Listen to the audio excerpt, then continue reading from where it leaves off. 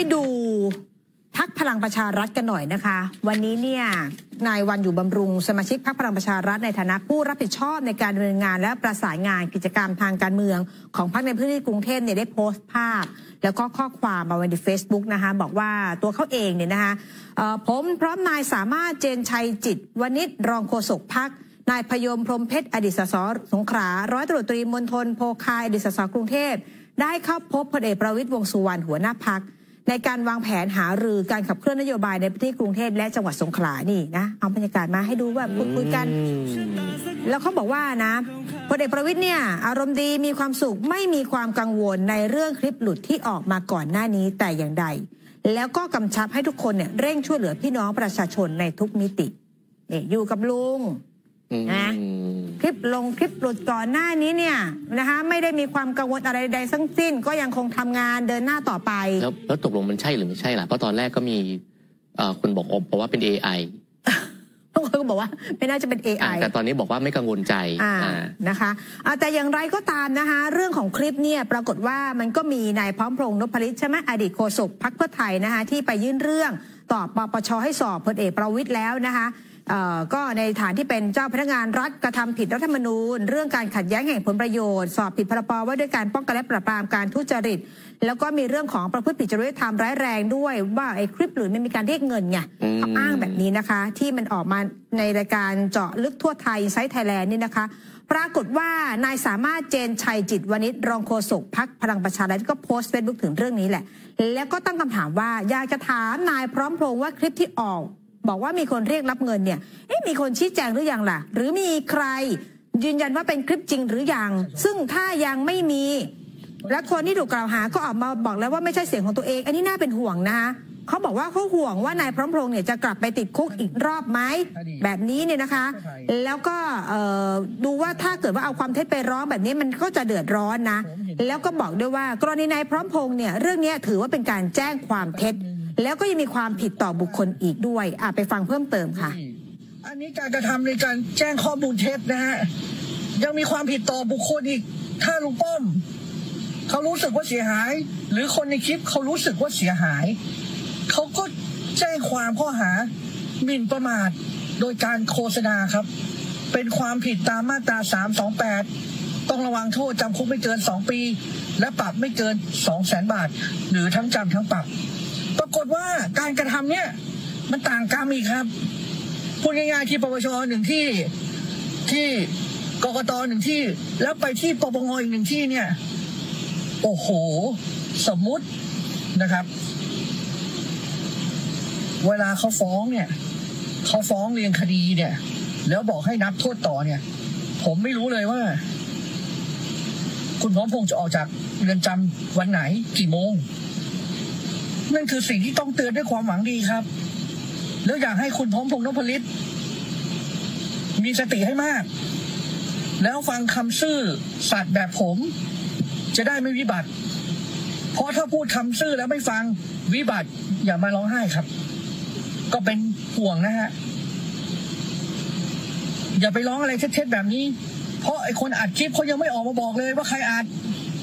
คนอัดเขายังไม่บอก ส่วนคนปล่อยคลิปนั้นกำลังจะถูกดำเนินคดีเลขาเลขาธิการพักพลังประชารัฐเขาบอกแล้ว ว่าเขาจะร้องต่อศาลอาญาวันไหนอย่างไรนี่นะคะเลขาธิการพักพลังประชารัฐก็นายไพบูลนิติตะวันนะคะที่บอกว่าจะฟ้องคนที่เกี่ยวข้องทั้งหมดเลยใช่ไหมอ่าส่วนเรื่องของการเลือกตั้งนะครับ ที่พิษุโลกเลือกตั้งซ่อมสสเขตหนึ่งนะฮะวันนี้ นายอิทธิพรบุญประคองประธานกกตก็ลงพื้นที่ไปตรวจเยี่ยมนะครับ แล้วก็สังเกตการในการส่งมอบและตรวจรับวัสดุอุปกรณ์การเลือกตั้งทั้ง 49 หน่วยนะครับ ไปที่ศูนย์ประสานแผนพัฒนาท้องถิ่นประจำอำเภอเมืองพิษณุโลกนะครับ ซึ่งเป็นสถานที่รับวัสดุอุปกรณ์รวม 208 หน่วยนี่ฮะแล้วก็ตรงจุดนี้เองเนี่ยก็ให้สัมภาษณ์นะครับ บอกว่าวิธีการป้องกันการทุจริต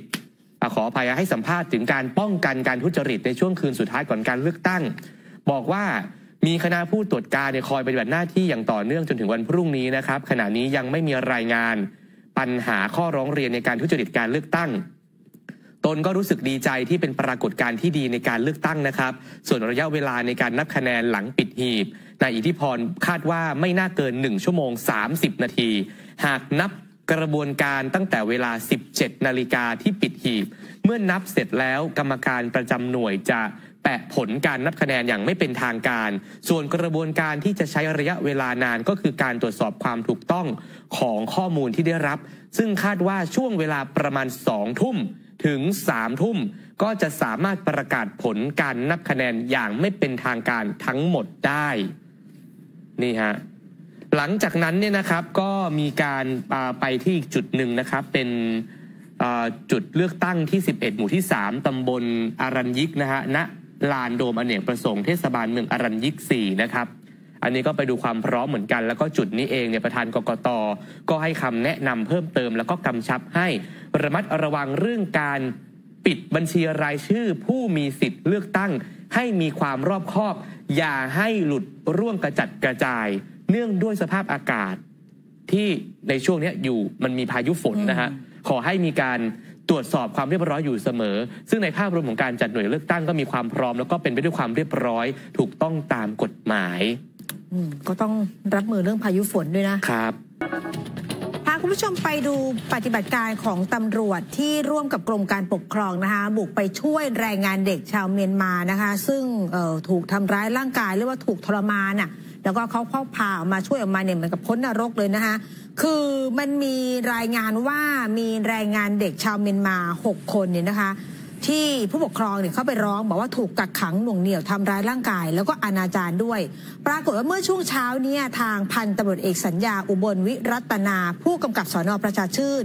พร้อมกับฝ่ายป้องกันและปราบปรามฝ่ายสืบสวน ร่วมกับนายรณรงค์ทิพย์สิริ ผู้ตรวจราชการกรมการปกครองกระทรวงมหาดไทย แล้วก็มีเจ้าหน้าที่ฝ่ายปกครองมีทีมสาวิชาชีพนี่นะคะ ไปที่บ้านทาวน์เฮาส์หลังหนึ่งที่ย่านงามวงวานไปช่วยเหลือเด็ก ที่ผู้ปกครองเนี่ยเขาบอกว่ามีเด็กอายุ 14 เป็นแรงงานต่างด้าว แล้วก็เข้าไปแจ้งความบอกลูกเนี่ยถูกกักขังหน่วงเหนี่ยวบังคับใช้แรงงาน พอไปถึงปุ๊บที่บ้านนะ ไปที่บ้านเนี่ยไปพ้นพบบ้านของนายกอล์ฟนายกอล์ฟเนี่ยอายุ34ปีเอง อยู่กับภรรยาเป็นเจ้าของบ้าน แล้วก็ไปพบแรงงานเด็กนะคะและเยาวชน 6 คน